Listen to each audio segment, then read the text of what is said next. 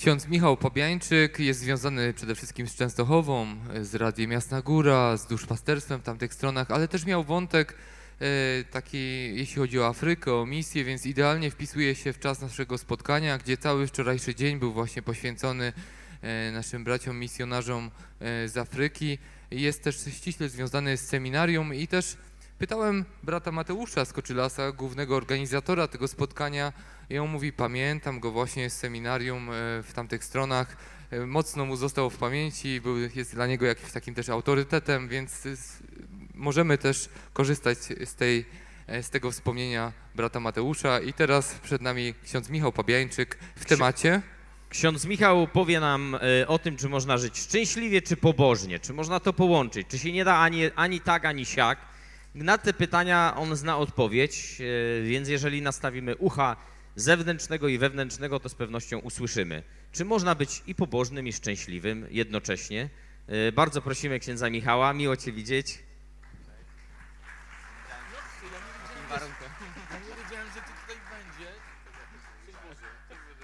Witamy go bardzo serdecznie, jeszcze raz ogromne brawa, oddajemy mikrofon i Was do dyspozycji.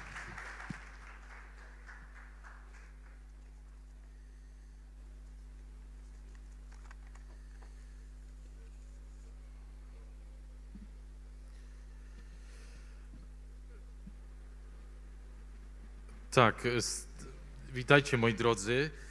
E, Starałem się jakoś towarzyszyć wam przynajmniej medialnie, więc obejrzałem prawie e, każdy film z każdego dnia co do tematu, e, co do koncertów, które tutaj w ogóle miały miejsce.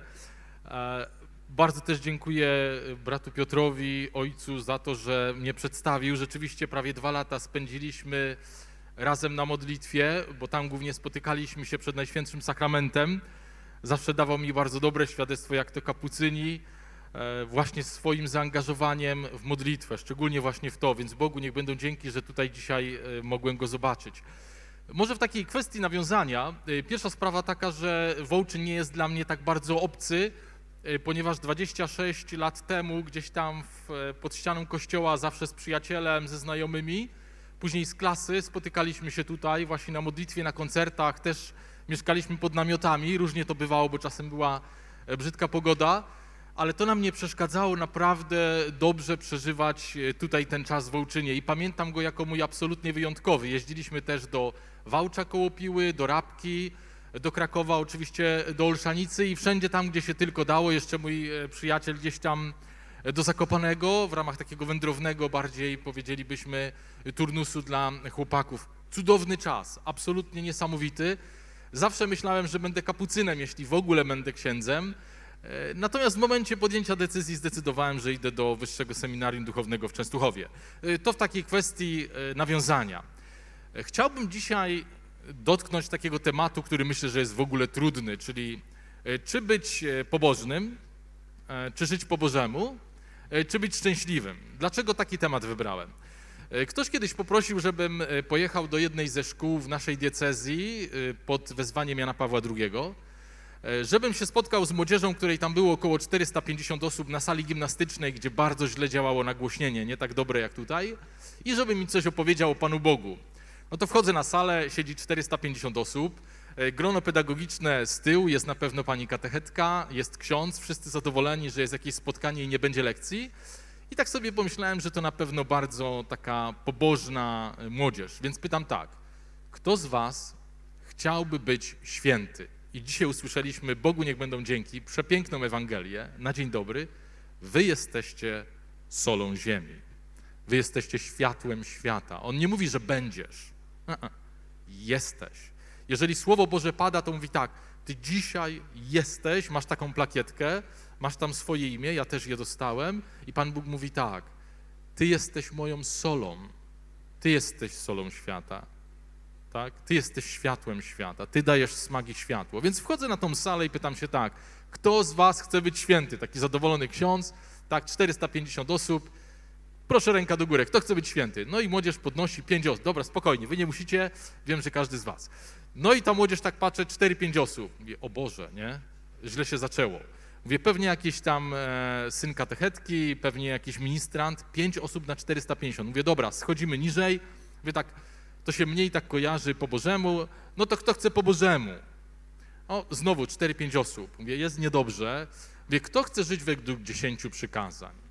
Według 10, tak jak je znacie, bo każdy z nas je zna. No i patrzę znowu, 4-5 osób podniosło rękę. Mówię, chyba nie trafiłem na tę młodzież, do której byłem wysłany, tutaj niby szkoła Jana Pawła II, więc pytam tak, dobra moi drodzy, rozumiem, a kto z was chce być szczęśliwy? Nie wiem, czy by- byliście na koncertach takich wielkich, gdzie jest 200 tysięcy młodzieży. Wszyscy podnieśli ręce i my chcemy być szczęśliwi. Mówię, o, no to jest nieźle.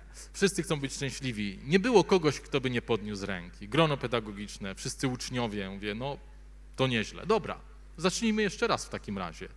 Kto z was chciałby na przykład sobie kupić auto?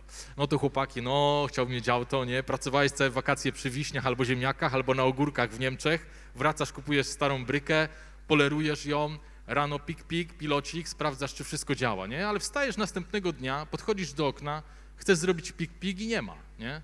Tato, pojechałeś zatankować czy coś, nie? Nie, nie ruszałem twojego auta, jest twoje. No tato, nie wygłupiaj się. Nagle orientujesz się, że ktoś ci ukradł to auto. Chciałbyś? No młodzież mówi, no nie, no nie, nie, nie. Powiedz mi, czy chciałbyś mieć dziewczynę? O, proszę księdza, e, nie, dziewczynę chciałby mieć, nie? Każdy lekko skrępowany, ale chciałby, nie? Chciałbyś mieć chłopaka? No chciała, nie? Ale takiego, co by kochał tylko ciebie, proszę księdza, takiego, co tylko mnie i nikogo, inne, nikogo innego. I ona tylko ciebie, mnie. No, wszystko jest jasne, nie? A powiedz mi, czy chciałbyś, żeby ona tak no napatoczyłeś się nie na tę ulicę, nie o tej porze patrzysz, że ona stoi z innym chłopakiem, nie daj Boże się całuje. Chciałbyś?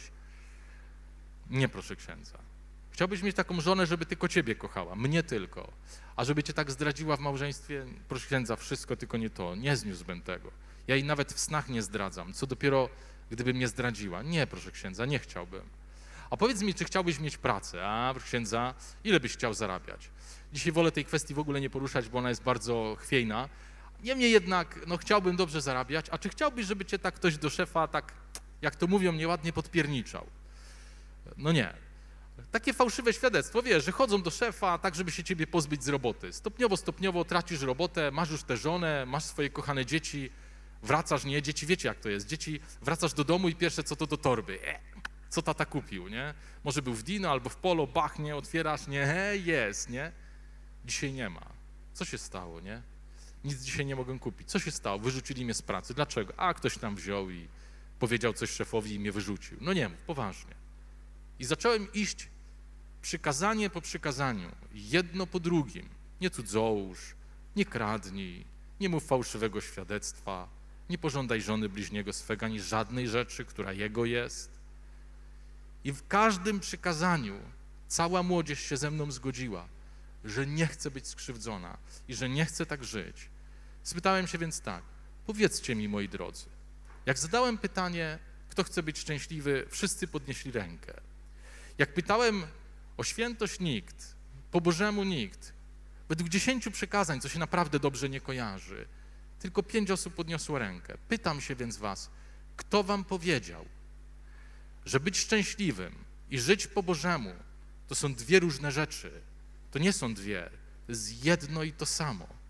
I w głębi serca, czy jest osoba, która chodzi na spotkania do bierzmowanych, czy nie, czy chodzi do kościoła, czy nie chodzi, każda w głębi serca chce być w życiu szczęśliwa i chce, żeby dziesięć przykazań dotknęło jej serca w życiu. Nie tylko na papierku, że byłem u spowiedzi, czy byłam w niedzielę u kościoła. Chcesz być traktowany według dziesięciu przykazań, bo przeczuwasz, że wtedy będziesz szczęśliwy, bo ktoś ciebie będzie naprawdę kochał. Czy to w pracy, jako przyjaciel, czy mąż, żona, czy po prostu ktoś, kto jest ci bardzo bliski i ważny. I okazuje się, że w głębi serca wszyscy w Polsce chcą żyć według dziesięciu przykazań. Jak to się stało, że ktoś nam wmówił, że jest dokładnie odwrotnie? Ktoś powie, proszę księdza, to, no to tak, to ja bym chciał, ale nie zawsze mi wychodzi. Rozumiem. Pamiętam, jak przyjeżdżałem tutaj do Wołczyna i weszła armia, wtedy dopiero co nawrócony zespół, takie irokezy tutaj stały na tym murku, wszyscy zaglądali do środka, każdy chciał wejść, kapucyni nie pozwolili, żeby się tu nie zrobiła zadyma. Wszyscy pogowali tutaj pod sceną, ja również, bo byłem w szkole średniej, więc z przyjacielem żeśmy skakali, zresztą podobnie jak wy, polewaliście się tu wodą jeszcze dwa dni temu. A on wyszedł i koncert zaczął się tak. Ding, ding, zadzwonił dzwoneczkiem i łup. I zaczęli tańczyć, śpiewać. To był szok. Dla nas młodych to było przeżycie religijne. Dlaczego? Bo był człowiek, który nie żył według dziesięciu przykazań i Pan Bóg go w jednej chwili uwolnił od nałogu. W jednej chwili. I zaczął śpiewać na koncercie w Jarocinie. Pamiętam, stał tutaj na tej scenie i mówił, miałem poczucie, że muszę zaśpiewać zamiast światło w Jarocinie, gdzie wszyscy klną, piją i jeszcze pewnie coś biorą, zacznę śpiewać Jezus. I zaczął śpiewać Jezus, Jezus.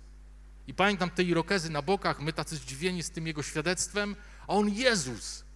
Mówi, zapluli mi całą koszulkę, także ją ściągnąłem i śpiewałem dalej. I zaczął żyć według dziesięciu przykazań, po Bożemu. Dlaczego?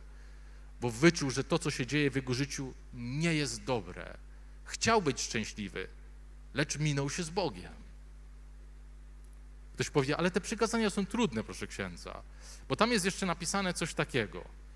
Jest i w Księdze Powtórzonego Prawa, w Starym Testamencie, i w Nowym Testamencie u Mateusza. I tam jest coś takiego. Wpoisz Twoim synom, będziesz o nich mówił, przebywając w domu, w czasie podróży, kładąc się spać i wstając ze snu. Jak mogę Wam ciągle mówić dziesięciu przykazaniach? Przecież Was to znudzi. A on mówi, będziesz o tym mówił w podróży, gdy będzie wstawać Twój syn, gdy będziesz kładł się spać. Mało tego, Żydzi mają taki zwyczaj, że tu jeszcze położą sobie Słowo Boże, dziesięć przykazań i na czole. Kiedyś w Afryce tak Afrykańczyka ubrałem na mszy świętej, ubrałem go jak Żyda, były kawałki Pisma Świętego, każdy mógł wyciągnąć, przeczytać. Co tam jest takiego? Moi drodzy, dziesięć przykazań to jest zaproszenie do przeżycia życia w sposób szczęśliwy, w bardzo głębokiej relacji szacunku wzajemnego, a jeśli ktoś to zrozumie, to głębokiej miłości. Powiesz znowu, ale mi nie idzie z tymi przykazaniami. To powiem Ci tak. Będąc w Twoim wieku, zastanawialiśmy się z grupą w młodzieży, czy się da żyć, i wydawało nam się, że to chyba niemożliwe. I ktoś powiedział, a święty Franciszek żył, a Klara żyła, a Loyola, Dominik. Da się, dobra, da się. Ale zobaczmy 10 przykazań troszkę od innej strony. Pan Bóg mówi tak: Będziesz miłował Pana Boga swego całym swoim sercem. Masz serce, całym swoim umysłem, całą swoją wolą, siłą, mocą, całą. A ty powiesz, tak nie kocham. To znaczy, że jeszcze nie jesteś szczęśliwy. Jak tak będziesz kochał Boga i człowieka, będziesz szczęśliwy. Ale jeżeli Bóg daje 10 przykazań, to jedna ciekawa rzecz. On najpierw sam musi je spełnić, ok? Czyli tak, jeśli Pan Bóg ciebie do czegoś zaprasza, to on musi pierwszy spełnić 10 przykazań. Co to znaczy? Bo tu jest ukryte serce przykazań Bożych. Dlaczego mam o tym mówić w czasie podróży, jak się kładę spać i wstaję? Moi drodzy, jest tu Twoje imię? Jest. Moje też. I Bóg powiedział tak: Ja Twoje imię wypiszę sobie nie na plakietce, którą Ty po wołczynie weźmiesz i fru, albo powiesisz sobie gdzieś na ścianie jako pamiątkę miłych chwil. Pan Bóg mówi tak: Dla mnie wołczyn będzie cały czas. Wezmę Twoje imię i wypiszę je na swoich rękach. Czyli wytatuuję. Można robić tatuaże, a no nie można, można, nie można, i się chrześcijanie kłócą, a może można, a może nie można. A Pan Bóg mówi tak: A ja sobie Twoje imię wyryję na moich rękach. Czy będę wstawał rano, czy w południe, czy będę kładł się spać, Twoje imię zawsze będzie na moich rękach. Co ciekawe, będzie na wieczność na moich rękach Twoje imię. A co to jest imię? To jest relacja, więź. Ja nigdy o Tobie nie zapomnę. Dlatego zrobię sobie taki tatuaż na rękach, wyryję. Nie da się go laserowo usunąć, jak tych dzisiejszych tatuaży. Wyryję, zostanie mi blizna, bo nie potrafię i nie chcę o Tobie zapomnieć. I Pan Bóg mówi tak: Daję Ci więc przykazanie. I ja Ciebie miłuję całym moim sercem, całym, całym. Serce bije od początku życia do samego końca. Pak, pak, pak, pak. Czyli tak, każde uderzenie mojego serca będzie dla Ciebie. Każda moja myśl jest myślą miłowania Ciebie. Co to znaczy? Że w Bogu nie ma ani jednej myśli przeciwko Tobie, ani jednej, ani rano, ani w południe, ani wieczorem. Powiedz to ludziom, że ich kocham.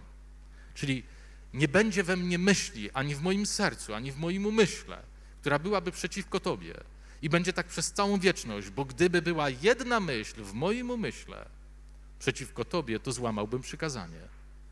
Czy rozumiecie to, co ja mówię? Bóg nie jest miłosierny. Bóg jest miłosierdziem. Bóg nie kocha Cię dzisiaj, a jutro nie. On jest miłością. Z Nim nie da się wejść w inną relację niż bycia miłowanym. Więc On będzie przykazania zachowywał od wczoraj na zawsze wobec Ciebie. I nawet jak w Starym Testamencie mówi, próbowałem się odwrócić od Izraela, a Izrael znaczy walczący z Bogiem. Czyli Bóg wypisał sobie imię Izraela na rękach, mój lud ze mną walczy, a ja go kocham. Próbowałem się więc od niego odwrócić, lecz nie mogłem, zwróciłem się z powrotem. Czyli jakby to powiedzieć, nie mogłem o nim zapomnieć, kiedykolwiek próbowałem. Taki jest Pan Bóg. Co to znaczy, gdy mówi do ciebie, żebyś miłował Pana Boga całym swoim sercem, żebyś poznał Jego miłość od początku do końca? To jest jakby taka pierwsza część, do której chcę, jakby, o której chcę opowiedzieć. Kończąc tę pierwszą jakby część na temat dziesięciu przykazań. Dwie rzeczy. Kiedyś dziesięć przykazań było napisane na tablicach, tak? Pamiętamy te tabliczki? Jedne odnosiły się do Boga, drugie odnosiły się do y, człowieka. Kiedy przychodzi Chrystus i mówi swoje pierwsze kazanie na górze i właśnie powie wtedy, że jesteście solą, światłem i opowie o dziesięciu przykazaniach, podnosząc je na wyższy poziom miłości, okaże się, że tą torą, tymi dziesięcioma przykazaniami jest On. On jest prawem, to znaczy, jak ja mam postępować według dziesięciu przykazań, a i owszem, ani jedna jota nie minie. Ale on powiedział tak, to ja stałem się jednym z was, żebyś mógł mnie miłować jako Boga, to jest jedna tablica, i jako człowieka, całym swoim sercem. Bo między nami będzie miłość, nie będzie niesnasek, nie będzie humorów, nie będzie zbyt niskiego ciśnienia, nie będzie czegoś we mnie, co byłoby przeciwko Tobie. I dlatego umrę na krzyżu, żebyś wiedział, że te dziesięć przykazania, te dziesięć przykazań, którym jest Jego własny Syn, czyli przykazania miłości Boga i bliźniego, nigdy się nie zmieniają. Choćbyś zabijał Boga i ranił Go, robiąc mu rany prawdziwe na rękach i głowie, On nigdy z Ciebie nie zrezygnuje. Czyli jakby to powiedzieć, co to jest dziesięć przykazań? To jest miłość Boża, do której Pan Bóg zaprasza, która Słowo stało się ciałem, ukazała się w Jego Synu. To o to tutaj chodzi. Dlatego Pan Bóg powie, bądź solą świata, bądź światłem świata, czyli miłuj, nic więcej. Będziesz szczęśliwy. Czy czasem ta miłość będzie trudna? Oj, bardzo, bardzo trudna, bo czasem ktoś zada ci ranę. Twój najbliższy, najbliższa. Tak będzie. Tak jest wśród księży, tak jest wśród zakonnic, zakonników w małżeństwach. Ale ta miłość Boga jest ponad wszystko i ponad wszystkim. I wtedy człowiek jest szczęśliwy. Nie gdy trzaska drzwiami, bo ma dziś zły humor, odchodzi i teraz już cię zostawia. Nie tędy droga. To taka jedna rzecz, o której chciałem wam powiedzieć. Dziesięć przykazań. Czy żyć po Bożemu, czy być szczęśliwym? Żyć po Bożemu, by być szczęśliwym. To jest taka jedna rzecz. Druga, drugi temat wybrałem, e, tam to było zapisane, jak wysłałem do ojca Mateusza, e, na drogach Bożej Opatrzności. Chciałbym wam troszeczkę opowiedzieć e, o misjach. To taki wątek mniej powiedzmy konferencyjno-teologiczny, bardziej tak z życia. E, Kiedyś wpadłem na pomysł, będąc na drugim roku w seminarium, przyjechał do nas ksiądz, opowiadał o misjach, później rektor, wpadłem na pomysł, że też pojadę na misję, nie znałem języka angielskiego, a że jestem kiepski w językach, więc mówię, trzeba się będzie go tego nauczyć, więc zacznę wcześniej. E, W drugim roku kapłaństwa poszedłem do biskupa mojego i mówię, proszę księdza biskupa, e, chciałbym jechać na misję. O, Michał, to za wcześnie, może za rok? Ja mówię, za rok. Dobrze, za rok. Gdzie chciałbyś jechać? E, Mówi, może byś pojechał do Zambii, mówi do mnie biskup. Ja mówię, no, myślałem o tym, myślę, że Zambia to dobry pomysł. Wsiadam do samochodu pod kurią, włączam pierwsze dowolne radio, a tam o jakichś misjach w Zambii. Mówię, dobra, Panie Boże, mamy Zambię, lecimy. Poleciałem jeszcze, najpierw pojechaliśmy do Warszawy na rok, na szkolenie, tam nam opowiedzieli o wszystkich chorobach, żebyśmy się zniechęcili. do Anglii na pół roku, żeby żyć e, jeść chipsy i frytki, chipsy i, i rybki. E, Pamiętam, że nie mieliśmy pieniędzy, było dosyć ciężko. E, Wchodziliśmy do marketów angielskich i było tak, jedna pizza, druga pizza, dwie kupisz, trzecia za darmo. No to braliśmy dwie pizze, trzecia za darmo. Naprawdę nie wiedziałem, co będę jadł. Jakoś było. A każdego funta, którego dostawałem od Anglika, bo oni mają taki zwyczaj, że e, tam zawsze księdzu jakiegoś funta wcisną do ręki po mszy, więc tym bardziej szliśmy się z nimi pożegnać. Szczęść Boże, dobrej niedzieli, szczęść Boże, no to oni po dolarze. Y, Pomagałem jakiemuś księdzu, też tam zawsze jakiś dolar wpadł i tak wszystko pchałem do tej walizki, bo mówię, przecież jadę do Afryki. Jak wylądowałem w Polsce, e, pakowałem te funty, nie liczyłem w ogóle.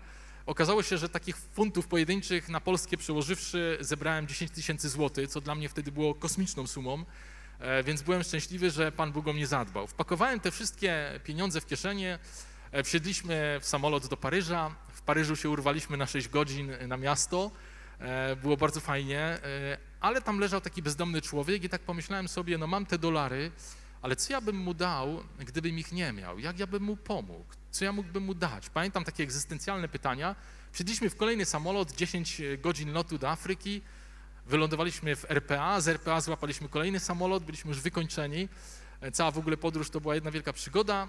Bach, wylądowaliśmy w Zambii. Wyobraźcie sobie poniżej równika, lądujemy w Zambii, otwiera się piękny samolot, tam oczywiście jak to zawsze jest telewizorek, muzyka, filmy, no bajka po prostu. Jesz co chcesz, podają ci napój, stewardessa z British Airways podchodzi, pięknie wymalowana, pyta się, może cola, Fanta, Sprite? Zastanawiam się chwilę dłużej, ona mówi, to wszystko, bardzo proszę, Sprite, Fanta, Cola, nie? No po prostu bajka. Otwierają się drzwi i wchodzę w taką ścianę wilgoci, bach. Pamiętam to ciepło, które weszło w nas, czuję tą temperaturę, powolutku zachodzi słońce, latają jakieś komary, robaki, opowiedzieli nam o tym wszystkim, wsiadamy sobie w terenowe auto i następnego dnia ruszamy na swoją misję. No zaczęło się fajnie. Wchodzę do kościoła, wszyscy czarni, no czekoladowa taka skóra, no bajka, nie? Wszyscy śpiewają, tańczą, bębny zasuwają, schola pięknie śpiewa, gitary z jakiejś tam zrobionej starej beczki, skóry zwierzaka, sznurki z prania, bang, bang, bang, murzyni śpiewają, grają, nie? Już chwilę później dowiaduje się, że ta połowa, patrząc statystycznie, jest chora na AIDS. O kurczę, 30-50%. Ta połowa, no to tam gruźlica, a dzisiaj nic nie zjedli, nie? A w darach niosą ci murzyni y, tańcząc, co chcesz. Papier toaletowy, koszule, spodnie, świeczki. Czego nie masz, to ci dadzą. To jest niesamowite, wszystko ci dadzą. Góra różnych darów, bo ksiądz, nie? Kurczę, mówię, słuchajcie, nie możecie nam tyle dawać, dzieci tu siedzą głodne, dzisiaj nic nie zjadły, a wy nam przynosicie tyle darów, nie? Nie rozumiemy księdza. Godzinę im tłumaczyłem, że nie można. Rozumiecie, że nie można? Bo tu dzieci głodne siedzą, a ja tu przed ołtarzem, ciało Chrystusa, ubogi Jezus i góra tych darów, nie? Nie można. Nie rozumiemy. Dobra, nie zrozumieli, trudno, nie dogadamy się, ale mówię tak, jak oni to robią, że jak jest komunia święta, to oni śpiewają i tańczą, a są chorzy na AIDS. Średnia umieralność 35-37. Jak masz rodziców w wieku 10 lat, to jest dobrze. Jak masz jedno, całkiem nieźle. Generalnie 30% w ogóle nie ma rodziców. Aha, więc po miesiącu czasu myślałem, że zwariuję. Mówię, nie dam rady psychicznie, to jest niemożliwe. Ja nie mogę mówić o Bogu przed ludźmi, którzy są chorzy na AIDS, nie? Oni powinni być smutni, to ja jestem smutny, oni się cieszą. Co jest grane? Zwariuję chyba. I nagle po miesiącu czasu mówię tak, zostaw to, Mike. Co cię to obchodzi? Zobacz, oni się cieszą Bogiem, przyszli posłuchać Słowa Bożego. Czemu ty się martwisz? Nie dokładaj im do pieca, zostaw to. Więc zacząłem tańczyć razem z nimi, jak to w Afryce, ding, ding, ding. Murzyni się cieszą, że biały się rusza. No jest po prostu dobrze, nie? A po miesiącu czasu przyszła e, Wigilia, Boże Narodzenie, idziemy na pasterkę, jest ciemno, przepiękne przedstawienia, dzieci, młodzież, dorośli. To trwało kilka godzin, wszystkie jasełka trzeba było zobaczyć, wszystkich osiedli, grup młodzieżowych. Coś pięknego. Skończyła się pasterka, wychodzę przed e, kościół, jest ciemno. Jak ja to mówię, mnie nie widać, ich tym bardziej. No i tak sobie idę w tej ciemności i słyszę, że coś biegnie, papam, papam, papam, papam, nie? I nagle trzask, buch, dostałem w głowę, mówię, o, coś się stało, nie? Czuję, coś mi się stało, mówię, o kurczę, chyba dostałem w nos, nie? Nagle łapię się za ten nos, czuję, że krew, krew mi chyba idzie, nie? Złapałem się za dziurki, złapałem, trzymam, nie? Czuję, że mi to nachodzi, puściłem, zalałem się krwią, mówię, o kurczę, on mi chyba złamał nos, nie? Murzyn poleciał dalej, no bo nawet nie wiedział, co się stało, było ciemno. I tak do szpitala, do szpitala nie idę, nie idę do szpitala, wchodzę na misję, Wchodzę do tego swojego domu, patrzę w lustro, o kurczę, zerwał, nie? Biorę go tak, chodzi jak wahadło od zegara, dęg, dęg, mówię, no nie, jest źle, nie? I tak, wziąłem, czystą jedną rzecz z Europy. Wziąłem kredki, więc biorę te kredki i mówię tak, przecież czyste, nie? Z Europy. W Afryce niczego nie dotknę, więc pcham tę kredkę w jedną dziurę, coś zgrzytnęło, nos wrócił, w drugą dziurę, już nie wchodzi, bo spuchnie, nie? Bach, nie? Patrzę, krew mi się wylała pod oczy, mówię, o kurka, nie? Przecież nie uwierzą nam, żeśmy się nie pobili, nie? Dobra, coś zrobię. Więc biorę te kredki, mieszam, robię puder pod kolor twarzy, idę do sióstr zakonnych, bo mieliśmy na szczęście siostry. To jest coś niesamowitego mieć siostry na misjach. Wziąłem puder taki dziecięcy, wymieszałem z tym i przed każdą mszą tank, tank, tank, tank, tank, jest dobrze, nie? A proboszcz mówi, ty, może byś lepiej odprawiał w okularach przeciwsłonecznych. Ja mówię, przecież to wygląda jak bodyguard, nie? daj mi spokój, nie? Po miesiącu czasu, ding, ding, nosek się zrósł, wszystko jest super, nie? Na drogach Bożej opatrzności myślę tak, jak byłem dzieckiem, to oglądałem program Adama Osłodowego. To takie dzisiaj to byłaby nuda, YouTube by nie przeszedł. Tytuł był taki, zrób to sam. Myślę tak, jak coś się dzieje, to po prostu zrób to sam, nie? Jadę do szpitala, bo odwiedzamy naszych kochanych chorych, załatwiając im cytryny. Wychodzi murzyn ze szpitalem i tak, proszę księdza, proszę księdza, nie, palec, nie, palec. Patrzę, a tu mu kość wystaje, nie? Mówię, ty, chyba ci go źle zszyli, nie? Kości wystaje, nie? Mówię, pies, psy się zaraz biegną. Tak patrzy, ale jak to źle, nie? No powinni ci to odciąć, nie? I zaszyć, nie? Chyba źle. A co się stało? A otarłem się o taką rybę, no i ta ryba i zaczęła mi gnić ręka, no to odcięli, nie?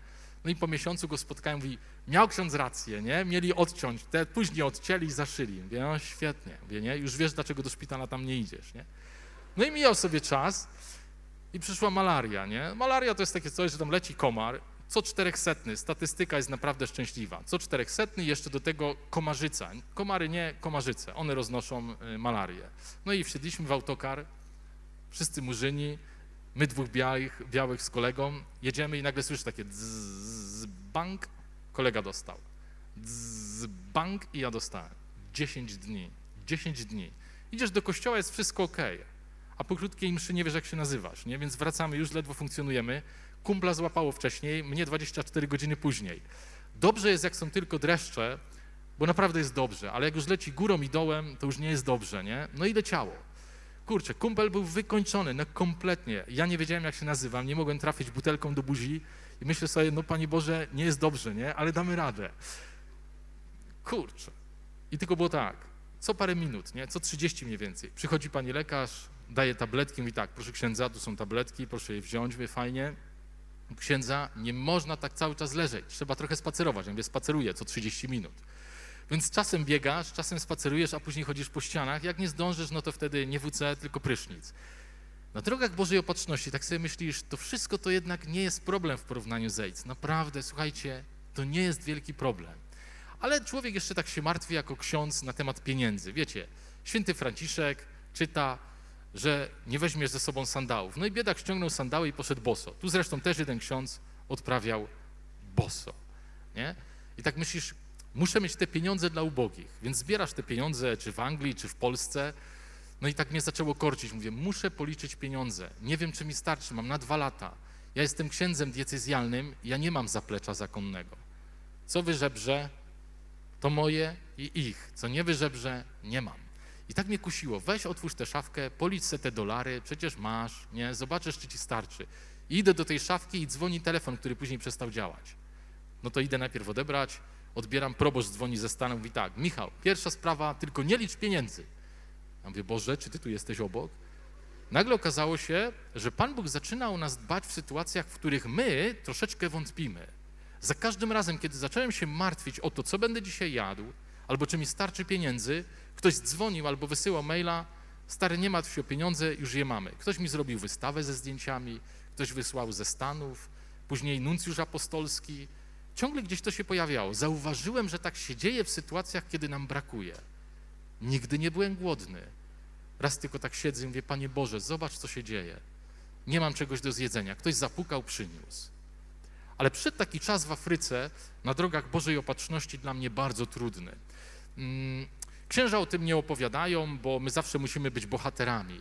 I pod względem dziesięciu przykazań, zawsze być uśmiechnięci. W ogóle słuchajcie, święci się nie skarżą. Zawsze jest cudownie. Złamali ci nos? Mów, że jest dobrze, nie?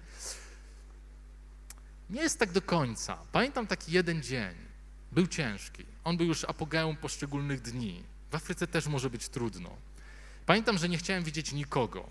Dzwonił do mnie jakiś murzyn, byliśmy pod jakąś anteną w zasięgu, dzwoni raz, dzwoni drugi, ja mówię, no co, koleżko, masz interes, to dzwonisz, tak? Biały ci pomoże. Rozumiecie, jak człowiek jest wtedy zdesperowany. Mało tego, nie mógł się do mnie dodzwonić, przyszedł pod dom, nie? Już widzę skubańca, jak idzie za oknem, nie? Nie, nie, nie, nie, nie, szeroki nos, wtedy wszystko cię denerwuje, nawet czekoladowa skóra. No i widzę, że podchodzi pod drzwi, będę udawał, że mnie nie ma. Rozumiecie, nie? No to biały człowiek zaczyna się chować za oknem i udaje, że go nie ma, nie? Czapka niewidka. Niech se puka. Kurka, co za pech, nie? Przyszedł taki, co usiadł i siedzi, nie? Mówię, pójdzie, zrobi się ciemno, oni nigdy tu nie siedzą. Więc zacząłem się czołgać po podłodze. Wyobraźcie sobie misjonarza, nie? Ma ewangelizować tam e, murzynów. Czołgam się do drugiego pomieszczenia, patrzę przez okno za firanki, gościa nie ma, nie? Słońce zachodzi, na pewno go nie ma, ale poczekam jeszcze dla pewności. Godzinę tak się czołgałem po mieszkaniu i sprawdzałem, czy gościa nie ma. Mówię, dobra, gościa nie ma, poszedł, nie? Wychodzę przed dom, zapalam światło, dy, dy, dy, nakarmię psa, mamy psa, jednego, drugiego, dziko, zimwekę, zapalam światło, mówi, kurz, a co ty tu robisz? No nie, no czekał, skubaniec czekał, nie? Mówię, no nie, dobra, jeszcze 10 minut dla kolejnego wiernego, niech będzie, nie? Pogadaliśmy, no miał swoje sprawy, ale było ciężko. Słuchajcie, było tak ciężko, że siadłem w porze deszczowej na fotelu. Fotel miał 40 lat, był wydrapany przez jakiegoś tam gościa. Miał 40 lat, bo kiedyś tu byli Włosi. Byłem wykończony. Powiedziałem, Boże, już nigdy więcej nie powiem, że jesteś dobry. Nigdy nie opowiem o Twojej miłości. Jest mi ciężko, jest mi źle. Jest mi w ogóle trudno. Ci ludzie też są chorzy. Nie widzisz, co się dzieje? Nigdy więcej. Pamiętam, że wewnętrznie to bym powiedział, że wyłem. Nie powiem. Przecież 10 lat walę w Twoje drzwi, żebyś mnie kochał. Pamiętam, że potrzebowałem Jego jednej łaski, jakiegoś podniesienia na sercu. Pomóż mi. Od 10 lat modlę się, pokaż mi miłość, gdzie jesteś. I zacząłem dosłownie walić jakby w takie drzwi nieba. Błagam Cię. Byłem kompletnie zdesperowany. Siedzę w tym fotelu, czuję, że śmierdzi. Stary fotel, zwilgotniały, bo jest pora deszczowa. Wszystko jest mokre. Cukier jest mokry. Niedomknięta kawa się zbryliła. Czujesz, że jest źle. Nie wiem, pewnie gdzieś tam coś tam jeszcze. I nagle wewnętrznie czuję wewnętrzną miłość. Bóg mnie kocha. Co to jest? Mówię, Boże.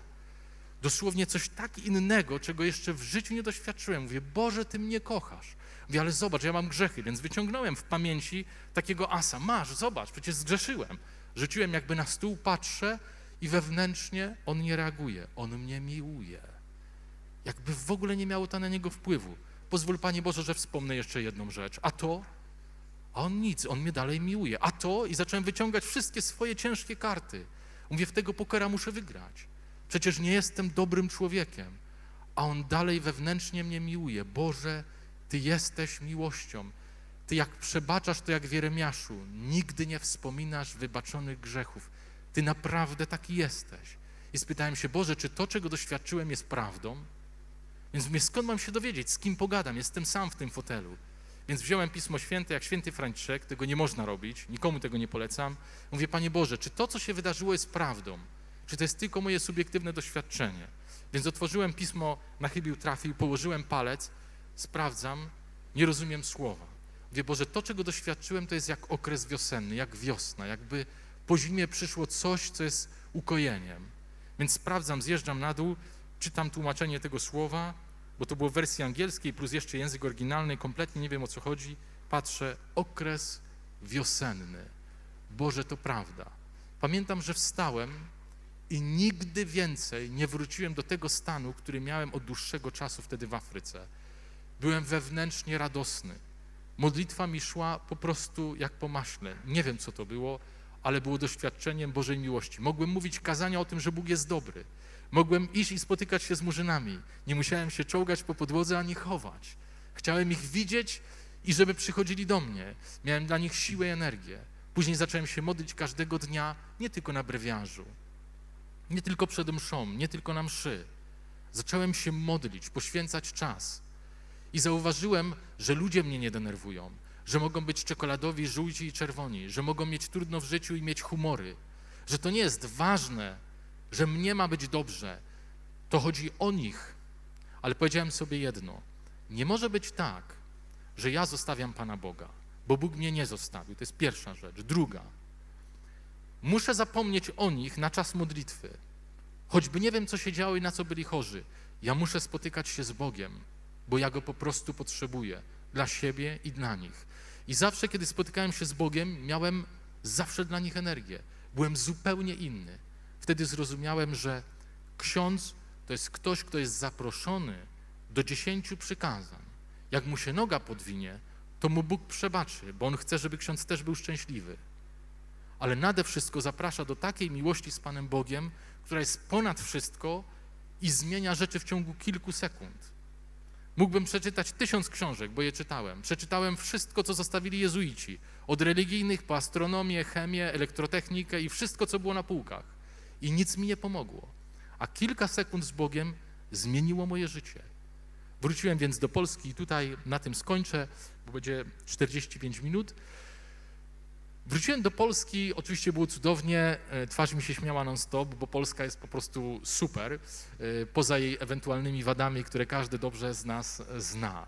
Tu każdy się o coś troszczy, gdy się ubiera, gdy robi drogę, gdy montuje kran, gdy robi dach, gdy pisze książkę. Nie wiem, po prostu Polska jest cudowna. Kiedy wracasz do swojej ojczyzny, to masz wrażenie, że jesteś na lekkim haju przynajmniej miesiąc czasu. Lekko. Jak jest wypadek i stoi strażak i patrzysz na tego strażaka, to jesteś po prostu pod wrażeniem. Jaki wspaniały człowiek, on dba o drugiego, o Boże. Nie? Dosłownie jesteś zachwycony.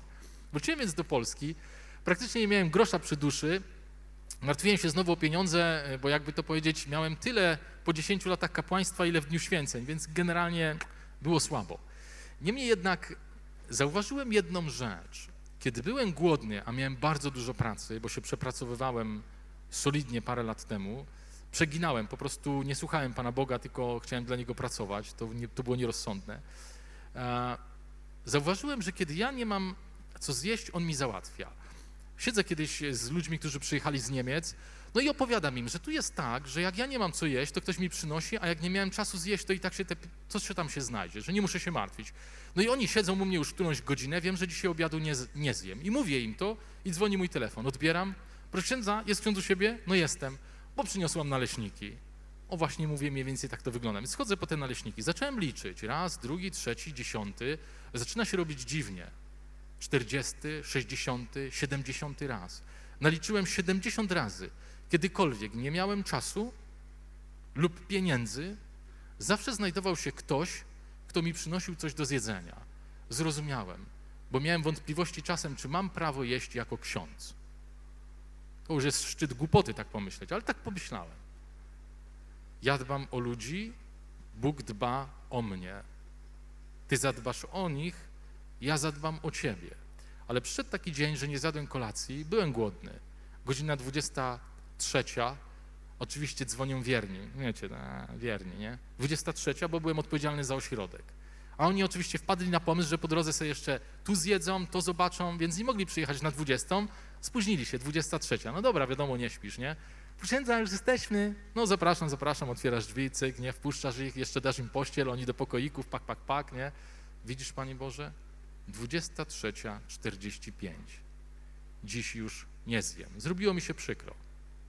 Nie chodzi o to, że on musiał mi za każdym razem udowadniać, że o mnie dba, ale zrobiło mi się przykro. 23.45. Słyszę, że pukają. Nie? Jeszcze wierni ma, nie mają dość, nie? Jeszcze muszą zajść. Ja, to, dobra, nie? Otwieram te drzwi, wsuwa się ręka i tak, proszę księdza, to dla księdza. Pomyśleliśmy o księdzu, jak jechaliśmy tutaj. Zamknąłem drzwi, pokazała mi się łza wokół, mówię, Boże, jesteś cudowny, zdążyłeś. Nie ma 24. Takich przypadków nie było tylko 70, ich było mnóstwo.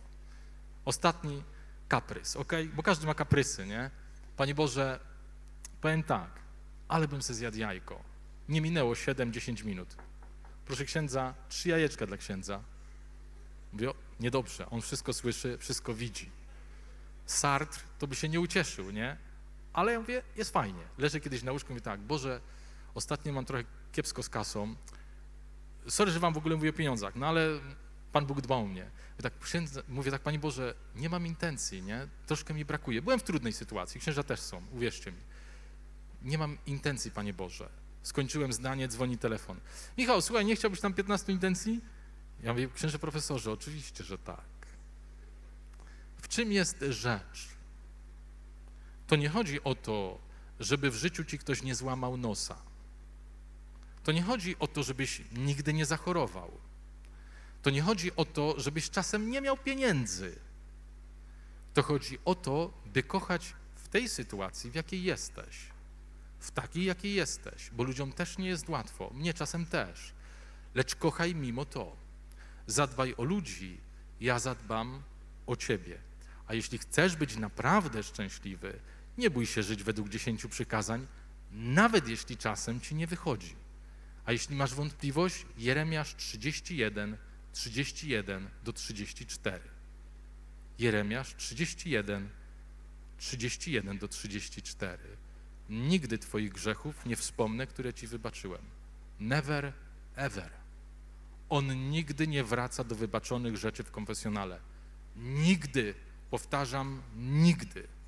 Kaprysów w życiu miałem znacznie więcej i Bóg je spełniał. Jedne tak, czasem nie. Czemu? Nie wiem. Wiem jedno, miłuje człowieka bez reszty, do końca i nigdy zdania nie zmienia. Choćby nie wiem, co się w waszym życiu wydarzyło lub wydarzy, zawsze będzie was miłował. Jeśli uda wam się kiedyś kogoś kochać, to Bogu niech będą dzięki. To jest szczęście. Nie pieniądze, nie idealne zdrowie, ale to, że mając je lub nie mając czy mając zdrowie, można miłować drugiego człowieka. To jest szczęście. Tyle Wam dzisiaj chciałem e, opowiedzieć w ramach tej dość długiej konferencji 45-minutowej. Życzę Wam e, naprawdę dobrego życia, pełnego e, przygód, głębokiej ufności w dobroć Pana Boga i wciąż udanej też mszy świętej, spotkania z Nim w Komunii Świętej, bo to będzie dokładnie On w całej swojej dobroci, w całej swojej pokorze. Amen.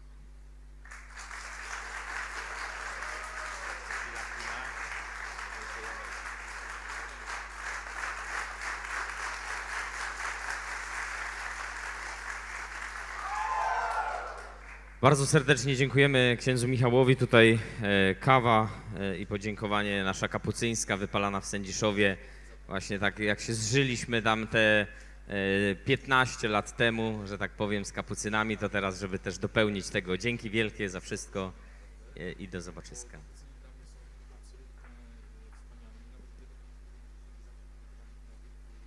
Ja bym to nagłośnił.